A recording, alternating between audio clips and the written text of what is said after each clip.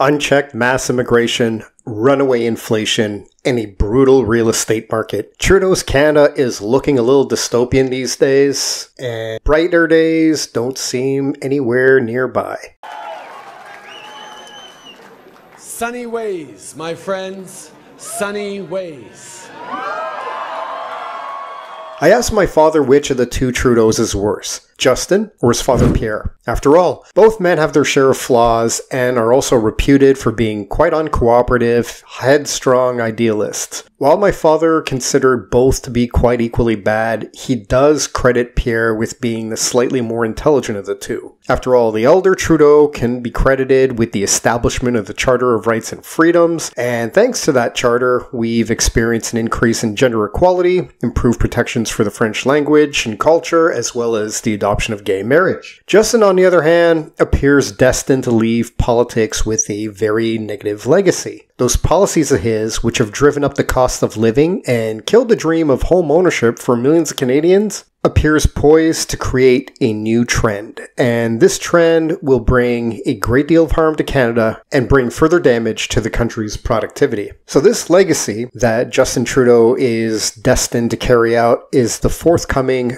Great Canadian Exodus. Just check it out. If you go on YouTube, Discord, Reddit, or any other online forums, you'll find that they're teeming with Canadians voicing their intention to leave the country. Now, there are some Canadians who are buckling down and desperately waiting for the next federal election, and they believe that the Poilievre conservatives will right all these liberal wrongs. But the thing is, some of these problems we're facing now cannot be fixed by anyone, regardless of political stripe. For instance, history has shown us that once inflation drives up costs, those costs become the new standard. So, if a fast food burger cost you 3 bucks prior to the pandemic and now that same burger costs 7 bucks, then that will be the new baseline price.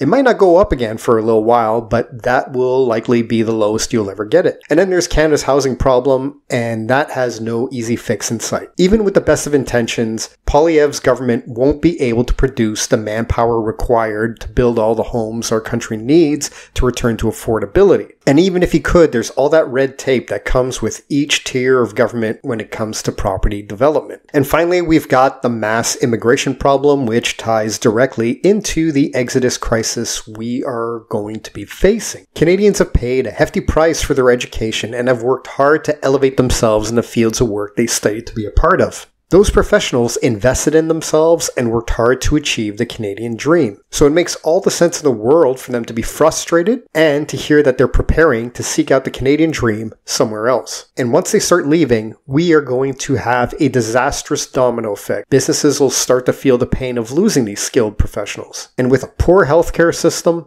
excessive taxation, and a ridiculously high cost of living, these businesses are going to struggle hard to attract foreign talent to offset the exodus. In fact, some of these businesses just might move to other countries themselves. Home prices will finally drop, but that drop won't be favorable as the homes will be bought up by groups of unskilled immigrants. And this will lead to the creation of ghettos across Canada as well as put further stress on our already depleted resources and infrastructure. So, what direction do you see Canada going in?